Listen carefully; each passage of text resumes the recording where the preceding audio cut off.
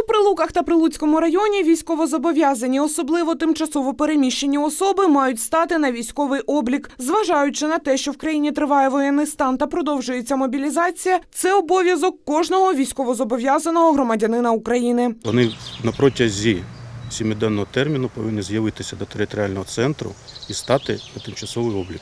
Це є обов'язок. Е, подальшому при переміщенні всі військовозобов'язані повинні мати з собою військово-обліковий документ.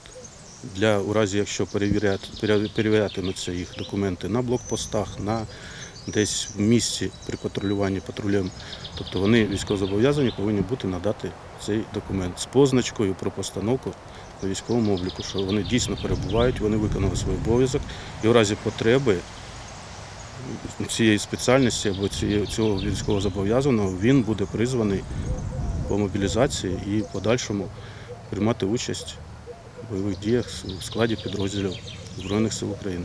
Водночас ігнорування цієї процедури матиме наслідки. За невиконання цього обов'язку передбачено як адміністративна, так і кримінальна відповідальність.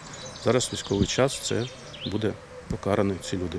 Бо у нас така, такий стан справ, що особи, які тимчасово переміщені, вони стають на облік, реєструються та як е, тимчасово переміщені в, наших територіальних громадах, але ж забувають про реєстрацію як військовозобов'язаного в територіальному центрі.